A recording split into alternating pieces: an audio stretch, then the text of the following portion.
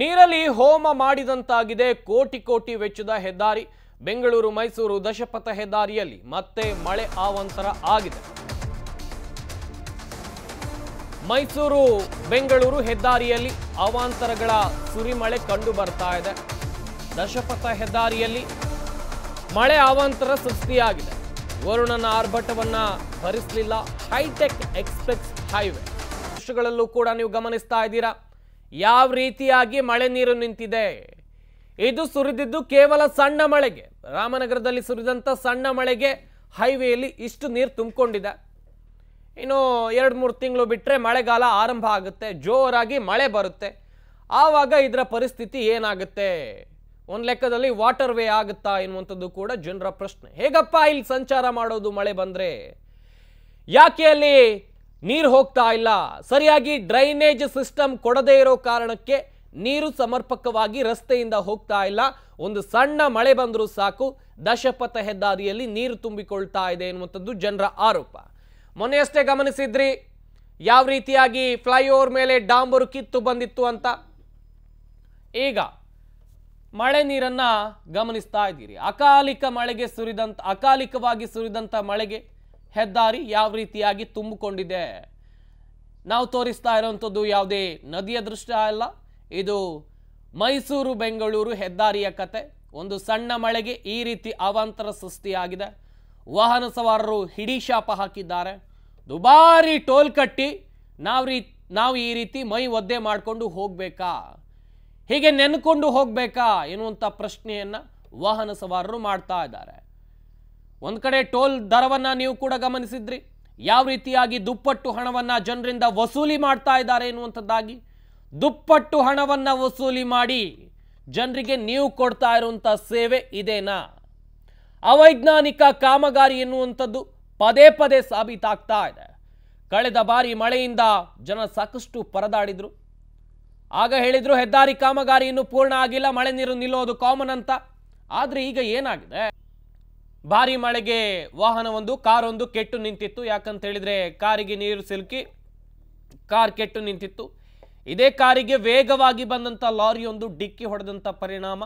Car ಹೇಗೆ ನಜ್ಜುಗುಜ್ಜಾಗಿದೆ ಎನ್ನುವಂಥದ್ದನ್ನು ನೀವು ದೃಶ್ಯಗಳಲ್ಲಿ ಗಮನಿಸ್ತಾ ಇದ್ದೀರಾ.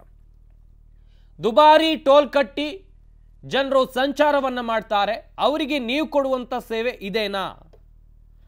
ಎಂಥ ಅವ್ಯವಸ್ಥೆ ಹೆದ್ದಾರಿಯಲ್ಲಿದೆ? ಹೈಟೆಕ್ ವೇ ಅಂತ ಹೇಳ್ತೀರಿ, ಹೈಟೆಕ್ ಎಕ್ಸ್ಪ್ರೆಸ್ ವೇ ಅಂತ ಹೇಳ್ತೀರಿ. ಆದರೆ ಒಂದು ಮಳೆ ನೀರು ಬಂದರೆ, ಮಳೆ ನೀರು ತುಂಬಿಕೊಂಡ್ರೆ, ಅದು ಸಮರ್ಪಕವಾಗಿ, ಸರಾಗವಾಗಿ ಹರಿದು ಹೋಗೋಕೆ ಒಂದು ಡ್ರೈನೇಜ್ ವ್ಯವಸ್ಥೆ ಕಲ್ಪಿಸಬೇಕು ಎನ್ನುವಂಥ ಸಾಮಾನ್ಯ ಜ್ಞಾನವು ನಿಮಗಿಲ್ವ ಹಾಗಾದರೆ? ಈ ಬಗ್ಗೆ ಇನ್ನಷ್ಟು ಡೀಟೇಲ್ಸ್ ಕೊಡ್ತಾರೆ ನಮ್ಮ ರಾಮನಗರ ಪ್ರತಿನಿಧಿ ಸಂದೀಪ್. ಫೋನ್ ಸಂಪರ್ಕದಲ್ಲಿ ಜಾಯ್ನ್ ಆಗ್ತಾ ಇದ್ದಾರೆ. ಸಂದೀಪ್!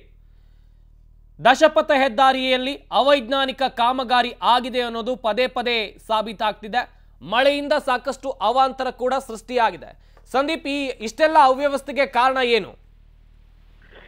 ಖಂಡಿತ ಏನು ಸಂಪತ್ತು, ಅವೈಜ್ಞಾನಿಕ ಕಾಮಗಾರಿ ಅಂತೇಳಿ ಈ ಒಂದು ಮಳೆ ಬಂದಂತ ಸಂದರ್ಭದಲ್ಲಿ ಈ ಹಿಂದೆ ಅತಿ ಹೆಚ್ಚು ಪ್ರಮಾಣದಲ್ಲಿ ಮಳೆ ಬಂದಿತ್ತು. ಹಾಗಾಗಿ ನೀರು ತುಂಬಿದೆ ಅಂತ ಏನು ಹೆದ್ದಾರಿ ಪ್ರಾಧಿಕಾರದ ಅಧಿಕಾರಿಗಳು ಸ್ಪಷ್ಟನೆ ನೀಡಿದ್ರು ಸ್ಪಷ್ಟನೆ ನೀಡಿದ್ರು ಆದ್ರೆ, ಇದೀಗ ಸಣ್ಣ ಪ್ರಮಾಣದಲ್ಲಿ ಮಳೆ ಬಂದು ಸಹ ಹೆದ್ದಾರಿ ತುಂಬಿಕೊಳ್ತದೆ ಅನ್ನೋದಕ್ಕೆ ಇದೇ ಒಂದು ನಿರ್ದೇಶ, ನಿದರ್ಶನ ಅಂತ ಹೇಳ್ಬೋದು. ಒಂದು ಅವೈಜ್ಞಾನಿಕ ಕಾಮಗಾರಿಯ ವಿಚಾರವಾಗಿ ಸಾಕಷ್ಟು ಬಾರಿ ಎಚ್ ಡಿ ಕುಮಾರಸ್ವಾಮಿ ಅವರು ಸರ್ಕಾರದ ಗಮನ ಸೆಳೆದಿದ್ದು, ಅಲ್ಲದೆ ಕೇಂದ್ರ ಸಚಿವ ಏನು ಕೇಂದ್ರ ಸಾರಿಗೆ ಸಚಿವ ನಿತಿನ್ ಗಡ್ಕರಿ ಅವರ ಗಮನವನ್ನ ಸೆಳೆಯುವಂತ ಪ್ರಯತ್ನ ಮಾಡಿದ್ರು.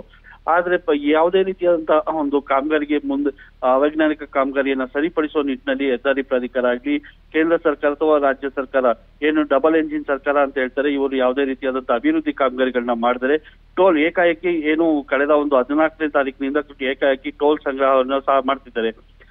ಏನು ಅಪೂರ್ಣ ಕಾಮಗಾರಿಗೆ ಟೋಲ್ ಸಂಗ್ರಹ ಮಾಡ್ತಾ ಇರೋ ದೆಸೆಯಲ್ಲಿ ಸಾಕಷ್ಟು ಪ್ರತಿಭಟನೆಗಳು ವ್ಯಾಪ- ವ್ಯಾಪ- ವ್ಯಾಪಕವಾದಂತ ವಿರೋಧ ವ್ಯಕ್ತವಾದ್ರು ಸಹ ಟೋಲ್ ಅನ್ನ ಒಂದು ನೂರ ಮೂವತ್ತೈದು ರೂಪಾಯಿಗೂ ಹೆಚ್ಚಿನ ಹಣವನ್ನ ಇಲ್ಲಿ ದರವನ್ನ ಪಾವತಿಸಬೇಕಾಗ್ತದೆ. ಅದರಲ್ಲಿ ರಾಮನಗರ ಮಂಡ್ಯ ಮಧ್ಯ ಭಾಗದಲ್ಲಿ ತೆರಳುವಂತ ಎಲ್ಲ, ಎಲ್ಲರಿಗೂ ಒಂದೇ ರೀತಿಯಾದಂತಹ ರೇಟ್ ಅನ್ನ ಏನು ನಿಗದಿಪಡಿಸುವುದು ಸಹ ಸಾರ್ವಜನಿಕರ ಆಕ್ರೋಶಕ್ಕೆ ಕಾರಣವಾಗಿದೆ. ಇದೀಗ ಹೆದ್ದಾರಿಯ ಒಂದು ಏನು ಅವೈಜ್ಞಾನಿಕ ಕಾಮಗಾರಿ ಮತ್ತಷ್ಟು ಏನು ಅದಕ್ಕೆ ಬೆಳಕಿಗೆ ಬಂದಿದೆ ಅಂತ ಹೇಳ್ಬೋದು. ರಾಮನಗರದ ಸಮೀಪದ ಸಂಘ ಬಸವನ ದೊಡ್ಡಿ ಬಳಿ ಹೆದ್ದಾರಿಯ ಜಲಾವೃತಗೊಂಡು ಏನು ಮಳೆಯಲ್ಲೇ ಶಪಿಸುತ್ತಾ ವಾಹನ ಸವಾರರು ಇಲ್ಲಿ ತೆರಳ್ತಾ ಇದ್ದಾರೆ. ಜೊತೆಗೆ ಏನು ರಸ್ತೆ, ಏನು ಮಳೆ ನೀರಿನಿಂದಾಗಿ ಒಂದು ಏನು ಕಾರು ಕೆಟ್ಟು ನಿಂತಿತ್ತು ಆ ಕಾರ್ ಕೆಟ್ಟು ನಿಂತಿದ್ದಂತ ಕಾರ್ಗೆ ಹಿಂಬದಿಯಿಂದ ಬಂದಂತ ಲಾರಿ ಒಂದು ಡಿಕ್ಕಿ ಹೊಡೆದ ಡಿಕ್ಕಿ ಹೊಡೆದ ಪರಿಣಾಮ ಆ ಕಾರ್ ಸಂಪೂರ್ಣ ಜಖಮಗೊಂಡಿದೆ. ಆದ್ರೆ ಅದೃಷ್ಟವಶಾತ್ ಕಾರ್ನಲ್ಲಿ ಇದ್ದವರು ಒಂದು ಏನು ಪ್ರಾಣಾಪಾಯದಿಂದ ಪಾರಾಗಿದ್ದಾರೆ. ಆ, ಈ ಒಂದು ಈ ಒಂದು ಬಗ್ಗೆ ಇತ್ತ ವಾಹನ ಸವಾರರು ಏನು ಹೆದ್ದಾರಿ ಪ್ರಾಧಿಕಾರದ ವಿರುದ್ಧ ಸಾಕಷ್ಟು ಆಕ್ರೋಶನ ವ್ಯಕ್ತಪಡಿಸಿದ್ದಾರೆ ಅಲ್ಲದೆ ಆ, ಆ, ಸುಮಾರು ಹೊತ್ತು ಏನು ಕಾರ್ ಕೆಟ್ಟು ನಿಂತಿದ್ರು ಆ ಒಂದು ಕಾರ್ನ ತೆಗೆದುಕೊಂಡು ಹೋಗೋದಾಗ್ಲಿ ಅಂದ್ರೆ ಈ ಹಿಂದೆ ನಿಖಿಲ್ ಕುಮಾರಸ್ವಾಮಿ ಅವರಾಗ್ಲಿ ಶಾಸಕಿ ಅನಿತಾ ಕುಮಾರಸ್ವಾಮಿ ಆಗಿ ಆ, ಏನು ಮಾಜಿ ಮುಖ್ಯಮಂತ್ರಿ ಎಚ್ ಡಿ ಕುಮಾರಸ್ವಾಮಿ ಅವರು ಹಿಂದೆ ಸಹ ಹೇಳಿದ್ರು. ಯಾವುದೇ ರೀತಿಯಾದಂತಹ ಒಂದು ಮೂಲಭೂತ ಸೌಕರ್ಯಗಳಿಲ್ಲ.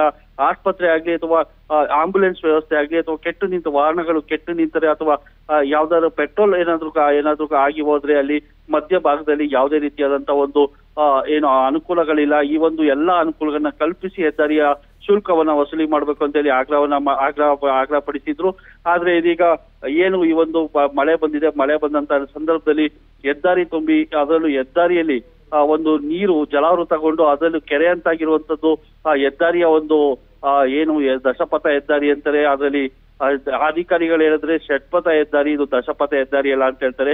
ಇಲ್ಲೂ ಸಹ ಗೊಂದಲಗಳಿದಾವೆ. ಹಾಗಾಗಿ ಈ ಒಂದು ದಶಪಥ ಹೆದ್ದಾರಿಯ ಒಂದು ಅವೈಜ್ಞಾನಿಕ ಕಾಮಗಾರಿ ಈಗ ಓಕೆ ಥ್ಯಾಂಕ್ ಯು ಸಂದೀಪ್ ನಿಮ್ಮೆಲ್ಲ ಡೀಟೇಲ್ಸ್ಗಾಗಿ